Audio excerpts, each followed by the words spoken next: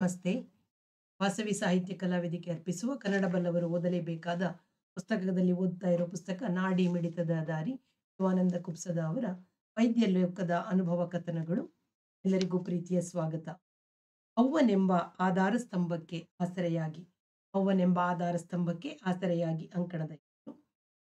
ನನಗೆ ಬರ್ಲಿಕ್ಕೆ ಲೇಟ್ ಆಗ್ತೈತಿ ನೀವು ಮುಂದ ನಡ್ದ ಬಿಡ್ರಿ ಯಾಕಂದ್ರ ನಾನು ನಮ್ಮವ್ವನ ಜಳಕ ಮಾಡಿಸಿ, ಊಟ ಮಾಡಿಸಿ ಬರಬೇಕು ಹೀಗೆ ಮೂರು ವರ್ಷದ ಹಿಂದೆ ವಿಜಯಪುರದ ಗೆಳೆಯನೊಬ್ಬನ ಮನೆಯ ಗೃಹ ಪ್ರವೇಶಕ್ಕೆ ನಮ್ಮೊಡನೆ ಬರುತ್ತೇನೆಂದು ಹೇಳಿದ್ದ ವೈದ್ಯ ಮಿತ್ರನೊಬ್ಬ ನಾವೆಲ್ಲ ಹೊರಟು ನಿಂತಾಗ ಕೊನೆಯ ಗಳಿಗೆಯಲ್ಲಿ ಹೇಳಿದ ಮಾತಿದು. ನನಗೆ ಹೆಮ್ಮೆ ಎನಿಸಿತು ಅವನ ಮಾತೃ ಸೇವೆಯ ರೀತಿಯನ್ನು ನೋಡಿ. ಅವನು ನನ್ನ ಸಹೋದ್ಯೋಗಿ ಸರ್ಜನ್. ತನ್ನ ತಾಯಿಯ ಬಗೆಗೆ ಅವನು ತೋರಿದ ಪ್ರೀತಿ. ಮರಣಕ್ಕೆ ಅತೀ ಸಮೀಪ ತಲುಪಿದ ಅವಳನ್ನು ಶತಾಯ ಗತಾಯ ಬದುಕಿಸಿಕೊಂಡು ಬಂದ ಘಟನೆ ಎಲ್ಲ ನೆನಪಾದವು.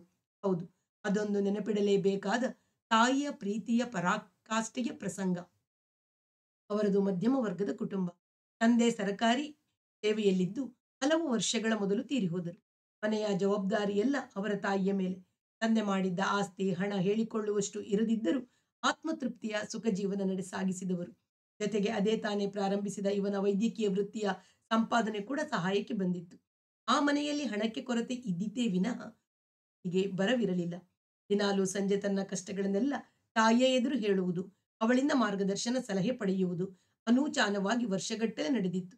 ಪುಟ್ಟ ಮಕ್ಕಳು ತಮ್ಮ ತಾಯಿಯಂದಿರಿಂದ ಕತೆ ಕೇಳಿದಂತೆ ಪ್ರತಿದಿನ ರಾತ್ರಿ ಅವಳೊಡನೆ ಜೀವನಾನುಭವದ ವಿಷಯಗಳನ್ನು ಚರ್ಚಿಸುವುದನ್ನು, ಅಷ್ಟೇನೂ ಓದಿಲ್ಲದ ಅವ್ವೆ ನೀಡಿದ ಸಲಹೆಗಳನ್ನು ಶಿರಸಾವಹಿಸಿ ಪಾಲಿಸುವುದನ್ನು ತನ್ನ ಜೀವನದ ಧ್ಯೇಯವನ್ನಾಗಿಸಿಕೊಂಡು ಬಿಟ್ಟಿದ್ದ. ಇವನ ಕಷ್ಟಕಾಲದಲ್ಲಿ ಅವಳು ತುಂಬುತ್ತಿದ್ದ ಧೈರ್ಯ, ಯಾವ ವ್ಯಕ್ತಿತ್ವ ವಿಕಸನ ಗುರುವಿಗೂ ಕಡಿಮೆಯಾದದ್ದು ಆಗಿರಲಿಲ್ಲ. ಎಷ್ಟಾದರೂ ಅವಳು ಜೀವನವೆಂಬ ವಿಶ್ವವಿದ್ಯಾಲಯಕ್ಕೆ ಕಷ್ಟಪಟ್ಟು ಮಣ್ಣು ಹೊತ್ತವಳಲ್ಲವೇ? ತಾಯಿ ಪ್ರತಿದಿನ ತಪ್ಪದೆ ತೋಟಕ್ಕೆ ಹೋಗಿ ತಾವು ಸಾಕಿದ ಮೂರು ಎಮ್ಮೆಗಳನ್ನು ಮೇಯಿಸುತ್ತಿದ್ದರೆ ಇವನು ಅವಳ ಜೊತೆಯಾಗಿ ಎಮ್ಮೆಗಳನ್ನು ಕಟ್ಟುವ ದಾಬೇಲಿಯನ್ನು ಚೆನ್ನಾಗಿ ಗುಡಿಸಿ ಸ್ವಚ್ಛ ಮಾಡಿ ಎಮ್ಮೆಗಳ ಮೈ ತೊಳೆಯುವಾಗ ಅವನೊಡನೆ ಕೈಜೋಡಿಸುತ್ತಿದ್ದ. ಅವಳು ನೀರು ಹಾಕುವುದು, ಇವನು ಅವುಗಳ ಮೇಯುಜ್ಜುವುದು, ಇಬ್ಬರು ಮಾತನಾಡುತ್ತಾ ಆ ವೇಳೆಯ ಸಂತೋಷವನ್ನು ಆಸ್ವಾದಿಸುವುದು ಸಾಮಾನ್ಯವಾಗಿತ್ತು. ಆ ಕ್ಷಣದಲ್ಲಿ ತಾನು ಸರ್ಜನ್ ಎನ್ನುವುದನ್ನು ಪೂರ್ತಿ ಮರೆತು ಅವ್ವನ ಮುಖದಲ್ಲಿ ಮೂಡುತ್ತಿದ್ದ ಸಂತಸದ ಗೆರೆಗಳನ್ನ ಕಂಡು ಖುಷಿ ಪಡುತ್ತಿದ್ದ. ಯಾವನ್ನೇ, ಯಾವುದೇ ಆಪರೇಷನ್ ಮಾಡಿದಾಗಿನ ಸಂತೋಷಕ್ಕಿಂತ ಹೆಚ್ಚಿನ ಸಂತಸ ಅಲ್ಲಿ ತನಗಾಗುತ್ತದೆ ಎನ್ನುವುದನ್ನು ಅನೇಕ ಬಾರಿ ನನ್ನೆದುರು ಹೇಳಿದ್ದ. ಎಮ್ಮೆಗಳ ಹಾಲು ಕರೆದು ಮನೆಗೆ ತಂದು ಕಾಯಿಸಿ ಇಬ್ಬರು ಜೊತೆಯಾಗಿ ಕುಳಿದು ಊಟ ಮಾಡಿದಾಗಲೇ ಆ ದಿನದ ಪ್ರಾರಂಭ. ಎಂಥ ಧನ್ಯರು ಇಬ್ಬರು. ಅದೊಂದು ದಿನ ಈತನಿಗೆ ಒಂದು ಎಮರ್ಜೆನ್ಸಿ ಆಪರೇಷನ್ ಬಂದದ್ದರಿಂದ ಅಮ್ಮನೊಂದಿಗೆ ತೋಟಕ್ಕೆ ಹೋಗಲಾಗಿರಲಿಲ್ಲ. ಅದೇನೋ ತಳಮಳ. ಇವತ್ತು ಅವನೊಡನೆ ನಾನಿಲ್ಲವಲ್ಲ ಎಂದು. ಆದರೂ ಕೂಡ ತಂಗಿಯನ್ನು ಅವಳೊಡನೆ ಕಳಿಸಿದ್ದ. ಆಪರೇಷನ್ ಮುಗಿಸಿ ಇನ್ನೇನು ಅವನಡೆಗೆ ತೆರಳಬೇಕು ಎನ್ನುವುದರೊಳಗೆ ತಂಗಿಗೆ ತಂಗಿಯ ಫೋನ್. ಅವ್ವ ಹೆಂಡಿ ಕಸ ಮಾಡಿದ್ದಾಕಿ ಎಚ್ಚರ ತಪ್ಪಿ ಬಿದ್ದಾಳ. ಮಾತಾಡಿಸಿದ್ರೆ ಮಾತಾಡಲೊಳ್ಳಳು. ತಗೂನೆ ಬಾ. ಇವನು ಹೋಗಿ ನೋಡಿದರೆ ಅವನಿಗೆ ಎಚ್ಚರವಿಲ್ಲ ಮಾತಿಲ್ಲ. ಕಣ್ಣು ತೆರೆದು ನೋಡುತ್ತಿಲ್ಲ. ಆಕಾಶವೇ ತಲೆ ಮೇಲೆ ಬಿದ್ದಂತಾಯ್ತು. ಬೆಳಿಗ್ಗೆ ತಾನೇ, ನೀ ಬರಲಿಲ್ಲ ಅಂದ್ರ ಬಿಡಪ್ಪ. ನಾ ಅಂತೂ ಎಮ್ಮಿಗೋಳ ಹೊಟ್ಟಿ ಹೊಟ್ಟಿಗೆ ಹೋಗಿ ಬರಾಕಿನಿ ಎಂದು ಹಠ ಹಿಡಿದು ಬಂದವಳು ಈಗ ಈ ಸ್ಥಿತಿಯಲ್ಲಿ. ಅಲ್ಲಿಯೇ ಪರೀಕ್ಷೆ ಮಾಡಿ ನೋಡಿದರೆ ಇದು ಮೆದುಳಿನ ರಕ್ತಸ್ರಾವ ಎಂದು ಗೊತ್ತಾಯಿತು. ತಮ್ಮದೇ ಆಂಬ್ಯುಲೆನ್ಸ್ನಲ್ಲಿ ಬೆಳಗಾವಿ ಆಸ್ಪತ್ರೆಗೆ ಕರೆದೊಯ್ದು ರಕ್ತ ಪರೀಕ್ಷೆ, ಸಿಟಿ ಸ್ಕ್ಯಾನ್ ಇತ್ಯಾದಿ ಮಾಡಿದಾಗ ತಿಳಿದು ಬಂದದ್ದೇನೆಂದರೆ ಮೆದುಳಿನ ಒಂದು ರಕ್ತನಾಳ ಒಡೆದು ರಕ್ತಸ್ರಾವವಾಗಿ ಮೆದುಳಿಗೆ ಒತ್ತಡ ಬಿದ್ದು ಬಾವು ಬಂದಿತ್ತು. ನ್ಯೂರೋ ಸರ್ಜನ್ರ ಅಭಿಪ್ರಾಯದಂತೆ ಇಂತಹ ರೋಗಿಗಳು ಗುಣಮುಖರಾಗಿದ್ದು ಕಡಿಮೆ. ಆದರೂ ಐಸಿಯುನಲ್ಲಿಟ್ಟು ಔಷಧೋಪಚಾರ ಆರೈಕೆ ಪ್ರಾರಂಭಿಸಿದರು. ಅವನ ಈ ಸ್ಥಿತಿ ಕಂಡು ಆಕಾಶವೇ ತಲೆಯ ಮೇಲೆ ಕಳಚಿ ಬಿದ್ದಂತಾಗಿತ್ತು. ಪ್ರೀತಿಯ ತಾಯಿಯ ಈ ಸ್ಥಿತಿಗೆ ಮರುಗುತ್ತಾ ಹಗಲು ಇರುಳುಗಳನ್ನು ಒಂದು ಮಾಡಿ ಅವಳ ಮುಖವನ್ನೇ ದಿಟ್ಟಿಸುತ್ತಾ ಅವಳ ಹತ್ತಿರ ಕುಳಿತೇ ಬಿಟ್ಟು ಈಗೋ, ಇನ್ಯಾವಾಗಲೂ ಕಣ್ತೆರೆದು ತನ್ನೆಡೆಗೆ ನೋಡಿ ಮುಗುಳ್ನ ಮುಗುಳ್ನಕ್ಕಾಳೆಂದು ಊಟ, ನಿದ್ರೆ ಬಿಟ್ಟು ಅವನ ಉಪಚಾರ ನಿರಂತರ ಸಾಗಿತು. ಏನು ಪ್ರಯೋಜನವಾಗಲಿಲ್ಲ. ಹೀಗೆ ನಾಲ್ಕು ದಿನ ಉರುಳಿದವು. ಐದನೇ ದಿನ ಒಮ್ಮೆಲೆ ಪರಿಸ್ಥಿತಿ ಬಿಗಡಾಯಿಸಿತು. ಉಸಿರಾಟದ ಏರುಪೇರು. ತಾವು ಸಮೀಪಿಸಿದ್ದನ್ನ ತೋರಿಸುತ್ತಿತ್ತು. ಅವಳನ್ನು ನೋಡಿಕೊಳ್ಳುತ್ತಿದ್ದ ನ್ಯೂರೋ ಸರ್ಜನರು ಬಂದರು. ಬದುಕುವ ಲಕ್ಷಣ ಇಲ್ಲವೆಂದು. ಬೇಕಾದರೆ ಈಗಲೇ ಮನೆಗೆ ಕರೆದುಕೊಂಡು ಹೋಗಬಹುದೆಂದು ಸೂಚಿಸಿದರು. ಆದರೆ ಈತ ಅದನ್ನೊಪ್ಪಲಿಲ್ಲ. ನವ್ವ ನಮ್ಮವ್ವ ಸಾಯಾಕ ಸಾಧ್ಯನೇ ಇಲ್ಲ. ನೀವು ಈಗ ಸದ್ಯ ಆಪರೇಷನ್ ಮಾಡ್ರಿ. ಅವಳು ಗ್ಯಾರಂಟಿ ಉಳಿತಾಳ. ಅವಳು ಮತ್ತ ನಮ್ಮ ಮನೆಯೊಳಗೆ ಬಂದ ಕುಂದಿರ್ತಾಳ. ನಾ ಇನ್ನ ಹತ್ತಿಪ್ಪತ್ತು ವರ್ಷ ಅವಳ ಸೇವೆ ಮಾಡಾವ ಆದೀನಿ. ಅದು ಇವನೆಂದಾಗ. ಹಾಗೆಲ್ಲ ಸಾಮಾನ್ಯರು ಜನರಂಗ ಆಡ್ಬ್ಯಾಡ್ರಿ. ಸ್ವಲ್ಪ ವೈದ್ಯರ ಹಾಗೆ ವಿಚಾರ ಮಾಡ್ರಿ. ಈ ಸ್ಥಿತಿಯೊಳಗೆ ಆಪರೇಷನ್ ಮಾಡೋದು ಹೆಂಗ್ ಹೆಂಗ್ ಸಾಧ್ಯ ಆದ? ಅವರು ಟೇಬಲ್ ಮೇಲೆ ಸಾಯೋ ಸಂಭವ ಆದ? ಅಂದ್ರೂ ಕೂಡ ಇವನ, ಅವನು ಹಠಕ್ಕೆ ಬಿದ್ದವನಂತೆ. ನಮ್ಮವನ ನಾ ಹಿಂಗ, ನಮ್ಮನಿಗೆ ಕರ್ಕೊಂಡು ಹೋಗಾಕ ಸಾಧ್ಯ ಇಲ್ಲ. ಆರಾಮ ಆಗ್ತಾಳ. ಆಪರೇಷನ್ ಮಾಡ್ರಿ ಎಂದು ಒಂದೇ ಒಂದು ಮಾತು, ಒಂದೇ ಮಾತು ಇವನದು.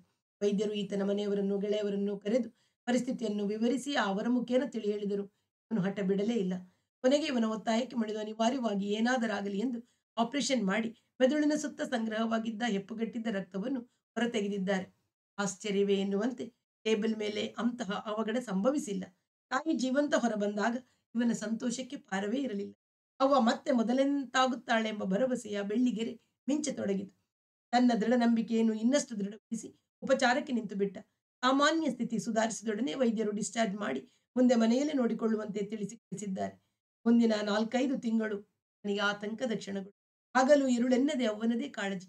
ಈಗ ಕಣ್ಣು ತೆರೆದಾಳು, ಆಗ ತೆರೆದಾಳು ಎಂಬ ಆಸೆಯಿಂದ ಆ ಮನಸ್ಸು ಗಟ್ಟಿ ಮಾಡಿಬಿಟ್ಟಿದ್ದ. ಮೂಗಿನ ನಳಿಯ ಮುಖಾಂತರ ಆಹಾರ ನೀಡುವುದು, ಕಾಲಕಾಲಕ್ಕೆ ಅವಳ ಮಗ್ಗಲು ಬದಲಾಯಿಸುವುದು ಮುಂತಾದ ಮುಂತಾದ ಅವ್ಯಾಹತ ಆರೈಕೆ. ಉಪಚಾರಗಳಿಂದ ಪವಾಡ ಸದೃಶ ಸಂಭವಿಸಿಯೇ ಬಿಟ್ಟಿತು. ಅವ್ವ ಕಣ್ಣು ತೆರೆದಳು. ಇವನಿಗೆ ಸ್ವರ್ಗ, ಮೂರೇ ಗೇಣು. ಸಂತೋಷದ ಪರಾಕಾಷ್ಠೆಯಲ್ಲಿ ಕುಣಿದಾಡಿಬಿಟ್ಟ ಮಮತೆಯ ಅವ್ವ ಕಣ್ಣು ತೆರೆದು ತನ್ನೆಡೆಗೆ ನೋಡಿದಾಗಿನ ಕ್ಷಣದಲ್ಲಿ ತನಗಾದ ಭಾವನೆಯನ್ನು ವಿವರಿ ವಿವರಿಸಲು ಅಸಾಧ್ಯ ಎಂದಿದ್ದ ನನ್ನ ಮುಂದೆ. ದುರಾದೃಷ್ಟವೆಂದರೆ ಮಾತು ಬರಲಿಲ್ಲ, ನಡೆದಾಡಲು ಸಾಧ್ಯವಾಗಲಿಲ್ಲ. ಇರ್ಲಿ ಬಿಡ್ರಿ, ನಮ್ಮಮ್ಮ ನನ್ನ ಕಣ್ಣ ಮುಂದೆ ಆದಾಳಲ್ಲ. ಅಷ್ಟು ಸಾಕ ನನಗೆ ಅನ್ನುತ್ತಾ ಸಮಾಧಾನ ಮಾಡಿಕೊಳ್ಳುತ್ತಾನೆ. ಅದರ ನಂತರ ಈತನ ದಿನಚರಿಯ ಮುಖ್ಯ ಭಾಗವೆಂದರೆ ಅವನ ಉಪಚಾರ. ಇದದ್ದೆಲ್ಲ ಗೌಣ. ಬೆಳಿಗ್ಗೆ ಎದ್ದೊಡನೆ ಅವಳ ಸ್ನಾನ, ಊಟ ಮಾಡಿಸದೆ ಮನೆ ಬಿಡುವುದಿಲ್ಲ. ಮಧ್ಯಾಹ್ನ ಊಟದ ವೇಳೆಗೆ ಮನೆಗೆ ಬಂದು ಊಟ ಮಾಡಿಸಿ ಮತ್ತೆ ಆಸ್ಪತ್ರೆ. ರಾತ್ರಿ ಬಂದೊಡನೆ ಅವಳ ಎದುರು ಕುಳಿತು ಸಮಯ ಕಳೆದು ಊಟ ಮಾಡಿಸಿ ಹಾಗೆ ಅವಳ ಕುರ್ಚಿಯ ಎದುರು ನೆಲದ ಮೇಲೆ ಮಲಗಿ ಸುದ್ದಿಗಳನ್ನು ಹೇಳುತ್ತಾನೆ. ನಂತರ ಈಕೆಯನ್ನು ಕುರ್ಚಿಯಿಂದ ಹಾಸಿಗೆಗೆ ವರ್ಗಾಯಿಸಿದ ನಂತರವೇ ಇವರ ಊಟ, ನಿದ್ದೆ, ಮತ್ತೆ ರಾತ್ರಿ ಒಂದೆರಡು ಸಾರಿ ಅವಳ ಮಗ್ಗಲು ಬದಲಾಯಿಸಿದಾಗಲೇ ಸಮಾಧಾನ. ಹೀಗೆ ದಣಿವಿಲ್ಲದಂತೆ ಸೇವೆ ಮಾಡತೊಡಗಿ ಆರೇಳು ವರ್ಷಗಳಾದವು.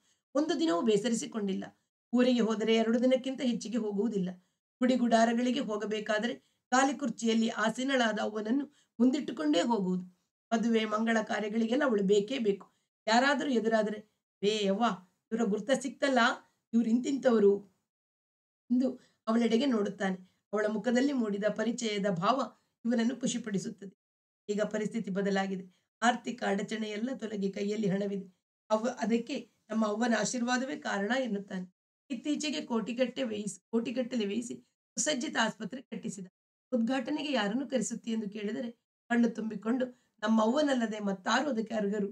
ಎನ್ನುತ್ತಾ ಹೆಮ್ಮೆಯ, ಅಭಿಮಾನ ನೋಟ ಬೀರಿದ ಆಸ್ಪತ್ರೆಯ ತಲೆ ಬಾಗಿಲೆದುರು ಖಾಲಿ ಕುರ್ಚಿಯ ಮೇಲೆ ಕುಳಿತ ಅವನನ್ನು ಕರೆತಂದ. ಕತ್ತರಿ ಹಿಡಿಯಲು ಸಾಧ್ಯವಿಲ್ಲದ ಅವನ ಕೈಯಲ್ಲಿ ತನ್ನ ಕೈಯಲ್ಲಿ, ಕೈಯನ್ನು ತನ್ನ ಕೈಯಲ್ಲಿ ಹಿಡಿದುಕೊಂಡು ಖಾಲಿ ಕುರ್ಚಿಯ ಹಿಂದೆ ವಿನೀತನಾಗಿ ನಿಂತುಕೊಂಡು ಬಂದ ಅತಿಥಿಗಳನ್ನೆಲ್ಲ ಸಾಲಾಗಿ ಅವಳ ಬದಿಗೆ ನಿಲ್ಲಿಸಿ ಭವ್ಯ ಆಸ್ಪತ್ರೆಯ ಉದ್ಘಾಟನೆ ಮಾಡಿಸಿದ. ಇತ್ತೀಚೆಗೆ ಒಂದು ನೃತ್ಯ ಕಾರ್ಯಕ್ರಮಕ್ಕೆ ಅವನನ್ನು ಗಾಲಿ ಕುರ್ಚಿ ಸಮೇತ ಕರೆತಂದು ಹಾಲಿನಲ್ಲಿ ಕುಳ್ಳಿರಿಸಿಬಿಟ್ಟ. ನೃತ್ಯ ನೋಡುವಾಗ ಅವಳ ಕಣ್ಣಲ್ಲಿ ಕಂಡ ಸಂತೋಷ, ಸಂಭ್ರಮ ತೃಪ್ತಿಯ ಮಿಂಚಿನಲ್ಲಿ ಇವನು ಬೆಳಗತೊಡಗಿದ್ದ. ನಮಸ್ತೆ, ಮುಂದಿನ ಬಾರಿ ಮುಂದಿನ ಅಂಕಣವನ್ನು ಓದೋಣ. ಅಲ್ಲಿಯವರೆಗೆ ಎಲ್ಲರಿಗೂ ಪ್ರೀತಿ. ವಾಸವಿ ಸಾಹಿತ್ಯ ಕಲಾ ವೇದಿಕೆ, ಸುಳ್ಯ ಅವ್ವನೆಂಬ ಆಧಾರ ಸ್ತಂಭ, ಆಸರೆ.